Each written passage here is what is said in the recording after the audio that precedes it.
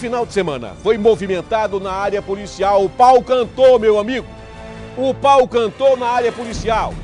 Entre as principais ocorrências, a de um deficiente físico que foi preso com droga e arma na Sobral. Em uma outra, é, uma outra abordagem, um rapaz foi preso ao ser flagrado com droga nas partes íntimas. Nas partes íntimas? É isso mesmo, dona, dona seu Marilson Maia? É isso mesmo? Conta essa história para nós. Roda as imagens, Marilson. Edivaldo Souza, três ocorrências policiais marcaram a noite deste sábado, deixando a primeira regional aqui no bairro Cadeia Velha bastante movimentada. Estão aqui os três envolvidos nas ocorrências e, obviamente, toda a Polícia Militar, junto com a Polícia Civil aqui na primeira regional. As ocorrências todas foram de prisões efetuadas pelos policiais militares. A primeira foi é, com o Richard Ronielli Lopes dos Santos.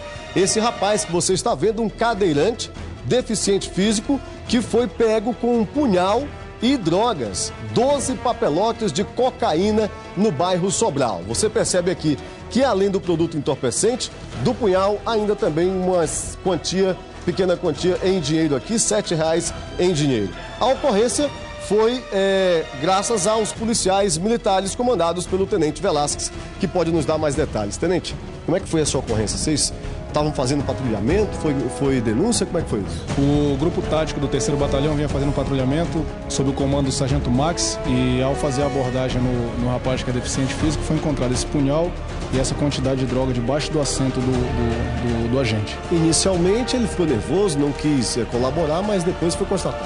Exatamente. Quando ele recebeu a informação que seria procedida a busca minuciosa aí na, na cadeira dele, já ficou nervoso, se exaltou e não queria de jeito nenhum e Continuando o procedimento, foi encontrada essa, essa arma branca e a quantidade de droga. Edivaldo Souza, em outra situação, obrigado, tenente, em outra situação, os policiais do BOP conseguiram prender este rapaz aqui. Aqui na delegacia ele deu o nome de Bruno da Silva Oliveira, mas não consta no sistema este nome. Depois ele disse que era menor e os policiais já estão quase é, conseguindo detectar que ele está o tempo inteiro mentindo, obviamente estão conseguindo detectar já o nome dele. Ele foi preso com este revólver calibre 32, municiado e há informações inclusive de que ele pode até ter efetuado disparos no local da prisão. Vou conversar com o Tenente Farias, que é quem está no comando aqui dos policiais do BOP e pode nos dar mais detalhes. Tenente, vocês chegaram no local constataram realmente que tratava-se de um indivíduo com arma de fogo. É, a situação, o CIOSP repassou a ocorrência de disparo de arma de fogo em via pública e em patrulhamento na área a gente se deparou com dois homens em atitude suspeita e ao abordá-lo foi localizado, encontrado em poder do segundo declarou Bruno, né? O, o revólver você pode ver, calibre 32, municiados ainda com dois cartuchos intactos, que nos leva aqui a crer que o mesmo efetuou disparos e se livrou da, das, dos estoques deflagrados, né? E ficando apenas com os dois cartuchos ainda com, com exatidão de pronto emprego, se necessário. Chegou ainda a esboçar algum tipo de reação? É, no, na primeira abordagem ele tentou reagir, mas foi rapidamente mobilizado e de pronto localizada a arma e conduzida à delegacia para as providências cabíveis. Obrigado, Tenente Farias. Edivaldo, eu vou conversar também com o delegado Pedro Henrique, que é o plantonista hoje da primeira regional. Porque, delegado, o é, Bruno, se é que é realmente esse o nome dele, ao que parece está mentindo para a polícia. É, o nome dele não é Bruno, não foi procurado no sistema, realmente não é Bruno, foi já constatado o nome dele, tá ali, que eu não posso recordar agora.